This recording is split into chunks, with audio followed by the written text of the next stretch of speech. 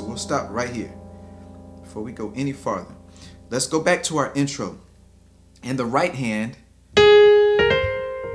you'll notice I'm doing a melody line, A flat, C, B flat, A flat. All right, but simultaneously, uh, we want to use some chords as well. So we'll start A flat, C. Once we get to our B flat, now we're going to use chords. Left hand, let's use uh, D flat and A flat. Right hand, D flat and B flat. All right, so we have a couple of options here on the right hand chord.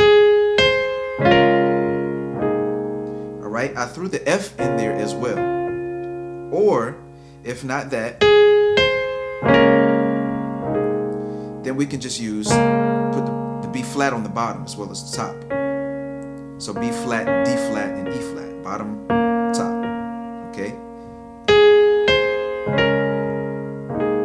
the idea here also is uh, not just playing the chord, which you could play that, all right, but also just a little something extra.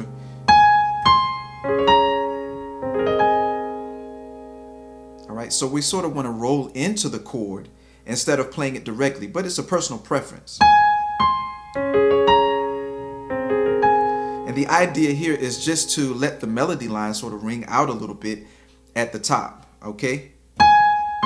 All right.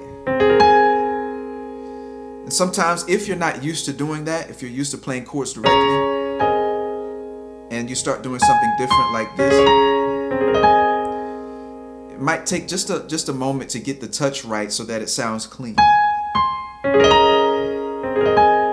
right, so let's move farther. Right, so we're going to do the same thing again. A flat, B flat, excuse me, A flat, C, B flat, A flat, and C.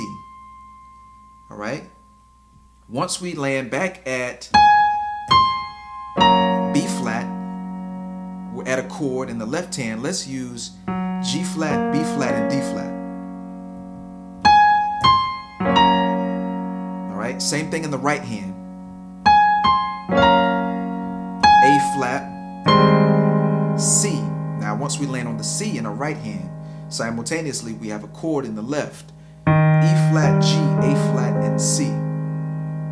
All right?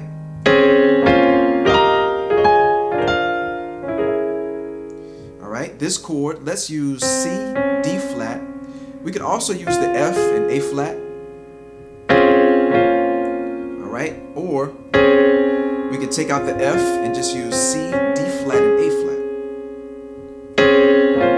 Now we have, we'll expand into uh, B flat, C, D flat, F, and C. So it should sound something like this. All right. One note on the bottom, my left hand, I'm just using G.